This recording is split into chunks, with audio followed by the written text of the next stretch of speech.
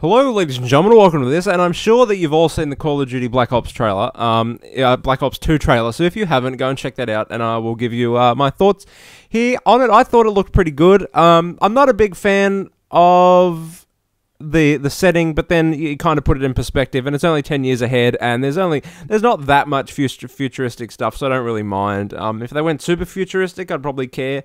Um, but I think that this is the big change that everyone's been waiting for. Um, but the the issue is that it's not really a it's not really a game mechanic. Well, actually, we'll get into that later. I don't want to spoil that.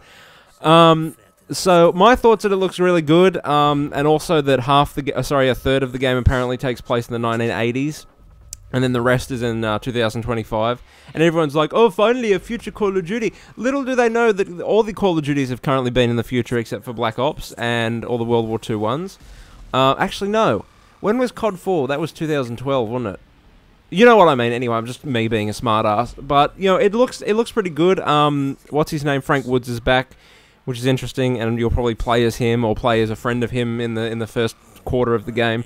Um, so that's good. I, I like how they're doing both of those instead of just doing uh, the 2025. Um, what else looks good? I mean, Call of Duty always delivers in the single player. I'll give it that. Um, the single player is always fun and interesting. Um, even if it makes no sense, just the way that Call of Duty plays makes a single player really fun, really action paced, and really, you know, just fun to play. Um, the multiplayer, obviously, we know nothing about. Zombies have been confirmed, um, and they're doing something wicked with that, apparently. So, the information that we know at the moment is they've mentioned kind of a sandbox kind of style that you make choices that affect the story, and they're going to have multiple endings.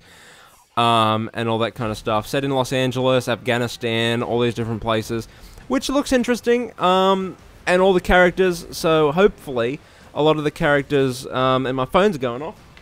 So hopefully, uh, a lot of the characters from Black Ops Return, looking at you, Reznov, um, because if you crack the code on Black Ops, clearly Reznov is not dead.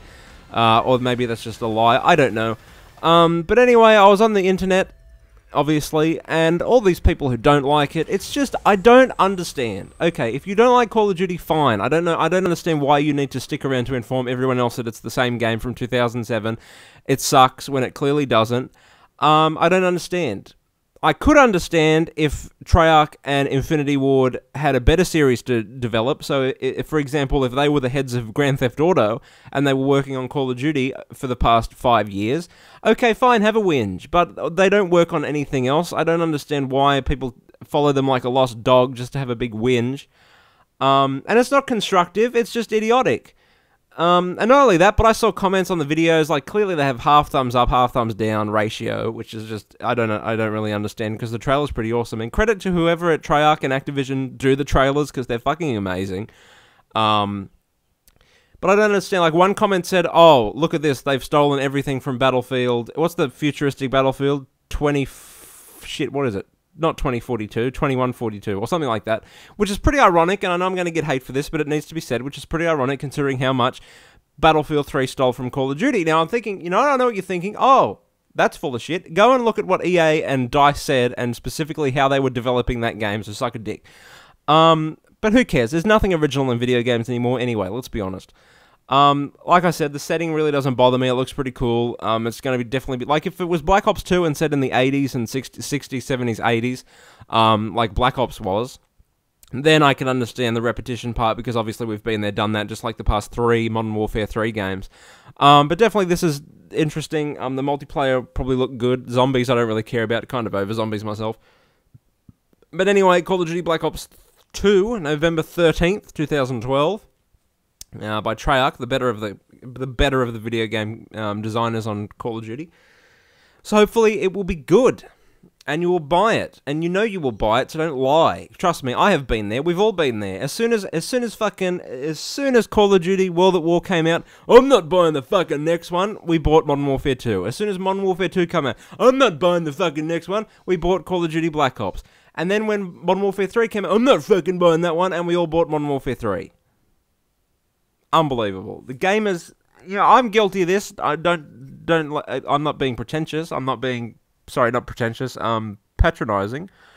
But we're all guilty of it. We're all guilty of it as gamers. We have this fucking, we have this need to bitch and moan and say, I'm not gonna fucking buy it, and then we fucking buy it. So, Anyway, I hope you guys buy it because I do want to play. I do want to play this game. So hopefully, uh, yeah, it'll be good. And I'm assuming it'll be good. It, it should be good. Two years development time. It'll be a good game. It'll be a good game. I trust. I have faith in Treyarch. They made a damn good game in, in Black Ops. World at War was pretty damn good, although the single player was definitely the weakest of the Call of Duties I've played, um, being COD 4, Modern Warfare 3, World at War, Black Ops, and Modern Warfare 2. Um, so yeah, I do trust Treyarch, and I like that Woods is in it because Woods is pretty awesome. Uh, hopefully Hudson's in it, or did Hudson die? Wait a minute, let me remember. I got to think.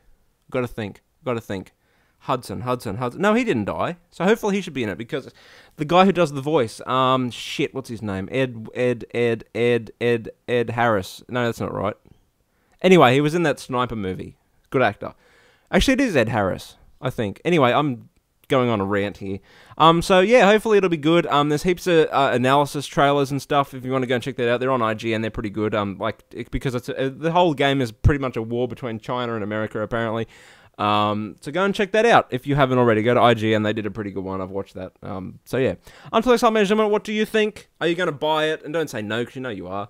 Um, so until next time, I'm out. Rate, comment, and subscribe. Tell me what you think of Call of Duty Black Ops. I'm out. Au revoir.